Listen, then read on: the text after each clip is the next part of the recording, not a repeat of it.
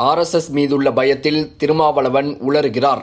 திருமாவளவனை விரைவில் சந்திக்கப் போகிறோம் என ஆர் எஸ் எஸ் தரப்பில் அதிரடியான தகவல் வெளியாகியுள்ளது. திருமாவளவன் சமீப காலமாக ஆர் எஸ் எஸ் குறித்த எதிர்ப்பு பிரச்சாரங்களை மக்கள் மத்தியில் அதிகமாக முன்னெடுத்து வருகிறார். ஆர் எஸ் எஸ் என்பது தமிழ்நாட்டிற்கு வரக்கூடாத ஒரு அமைப்பு. ஆர் எஸ் எஸ் வட இந்தியாவில் முழுவதும் வியாபித்து இருக்கிறார்கள். ஆனால் தமிழகத்தில் ஆர் எஸ் எஸ் வந்தால் அது நல்லதல்ல. தமிழகம் இப்போது இருக்கும் நிலையிலேயே இருக்க வேண்டும். மேலும் தமிழகத்தில் ஆர் எஸ் எஸ் நுழைவது பல கலவரங்களை ஏற்படுத்தும் என்ற வகையில் அவர் செல்லும் இடங்களெல்லாம் மக்கள் மத்தியிலும் நேர்காணல்களிலும் கூறி வருகிறார். மேலும் வரும் நாடாளுமன்ற தேர்தலில் பாஜக இருக்கும் கூட்டணியில் கண்டிப்பாக விடுதலை சிறுத்தைகள் கட்சி இருக்காது என வெளிப்படையாகவே கூறி வந்தார் திருமாவளவன். இந்த நிலையில் விசிக தலைவர் திருமாவளவனை சந்திக்க ஆர் எஸ் எஸ் திட்டமிட்டுள்ள தகவல் வெளிவந்து அதிர்ச்சியை ஏற்படுத்தியுள்ளது. ஆர் எஸ் எஸ் தற்போது அதனுடைய நூற்றாண்டு விழாவை நெருங்கி வருகிறது. இதன் காரணமாக ஆர்எஸ்எஸ்ஸின் நடவடிக்கைகளை அதிக அளவில் நாடு முழுவதும் முழு வீச்சில் இயங்க துரித நடவடிக்கைகளை அதன் இயக்க தலைவர்கள் முன்னெடுத்து வருகின்றனர். குறிப்பாக இளைஞர்களை புதிதாக சேர்ப்பது சங்கத்தில் நிறைய துணை சங்கங்களை நிறுவுவது அனைத்து தரப்பிலிருந்து ஆதரவாளர்களை திரட்டுவது என பல்வேறு நடவடிக்கைகள் ஆர்எஸ்எஸ் நிர்வாகிகளால் முன்னெடுக்கப்பட்டு வருகிறது. இந்த நிலையில் ஆர்எஸ்எஸ் இயக்கத்தின் அகில பாரத பொதுக்குழு கூட்டம் கடந்த மாதம் ஹரியானா மாநிலத்தில் நடைபெற்றது. இந்த கூட்டத்தின் தொடர்ச்சியாக தமிழகத்தில் ஆர்எஸ்எஸ் ஆலோசனை ஆலோசனை கூட்டம் நடைபெற்றது.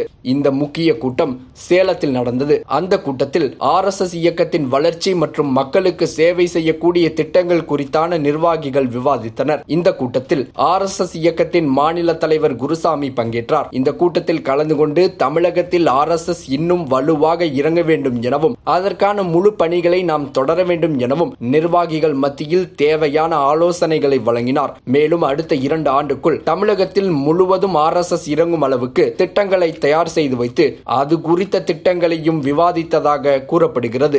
இந்த கூட்டம் முடிந்த பிறகு செய்தியாளர்களிடம் பேசிய தமிழ்நாடு ஆர் எஸ் எஸ் பிரிவின் தலைவர் குருசாமி ஆர் எஸ் எஸ் இயக்கத்தின் ஆன்லைன் மூலமாக நாடு முழுவதும் ஏழு லட்சத்து இருபத்தி ஐந்தாயிரம் பேர் உறுப்பினர்களாக சேர்ந்துள்ளதாகவும் தமிழ்நாட்டில் மட்டும் நான்காயிரத்தி எண்ணூற்று நாற்பத்தெட்டு பேர் இணைந்துள்ளதாகவும் தெரிவித்தார். புதிய உறுப்பினர் சேர்க்கை மூலம் ஆர் எஸ் எஸ் இயக்கத்திற்கு புத்துணர்வு கிடைத்துள்ளது. ஆர் எஸ் எஸ் காரியகஸ்தர்கள் சீருடையுடன் கட்டுக்கோப்பாக ஊர்வலத்தில் ஈடுபடுவார்கள். எழுபது ஆண்டுகளாக இந்த ஊர்வலம் நடந்து வருகிறது. தமிழ்நாட்டிலும் பல ஆண்டுகளாக ஊர்வலம் நடக்கிறது. கருணாநிதி முதல்வராக இருந்தபோது பல முறை அனுமதி கொடுத்துள்ளார். இஸ்லாமியர்கள் அதிகம் வசிக்கக்கூடிய பாலக்கோடு உள்ளிட்ட நகரங்கள் கூட ஆர் எஸ் எஸ் பேரணி நடைபெற்று வருகிறது. ஆனால் தற்போது ஆர் எஸ் எஸ் பேரணியை சில இந்து விரோத சக்திகள் தூண்டிவிடுகின்றன.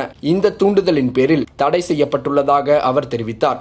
விரைவில் இது தொடர்பான வழக்கில் நல்ல முடிவை எடுக்கப்படும் எனவும் கூறினார். மேலும் திருமாவளவன் பற்றி அவர் கூறிய விஷயம்தான் அதிரடியை ஏற்படுத்தியுள்ளது. ஆர் எஸ் எஸ் இயக்கம் தற்போது வேகமாக வளர்ந்து வருகிறது. தலித் சமுதாயத்தை சேர்ந்தவர்கள் கிறிஸ்தவ மதத்தைச் சேர்ந்த இளைஞர்கள் மற்றும் இஸ்லாமிய மதத்தைச் சேர்ந்த இளைஞர்கள் அதிக அளவில் ஆர் எஸ் எஸ் இயக்கத்தில் இணைந்து வருகிறார்கள். ஆர் எஸ் எஸ் இயக்கத்தின் வளர்ச்சி கண்டு விசிக தலைவர் திருமாவளவன் பயந்து இருக்கிறார் எனவும் மிகவும் அச்சப்படுகிறார் எனவும் அவர் கூறினார். திருமாவளவனை விரைவில் சந்தித்து ஆர் எஸ் எஸ் இயக்கம் குறித்து அவரிடம் தெளிவுபடுத்த இருப்பதாகவும் குருசாமி தெரிவித்துள்ளார். இப்படி ஆர் எஸ் எஸ் எதிர்த்து திருமாவளவன் அதிகம் பேசி வருவதும் அவரை ஆர் எஸ் எஸ் நிர்வாகிகள் சந்திக்க இருப்பதும் இடதுசாரிகள் மத்தியில் பெரும் புயலை கிளப்பி உள்ளது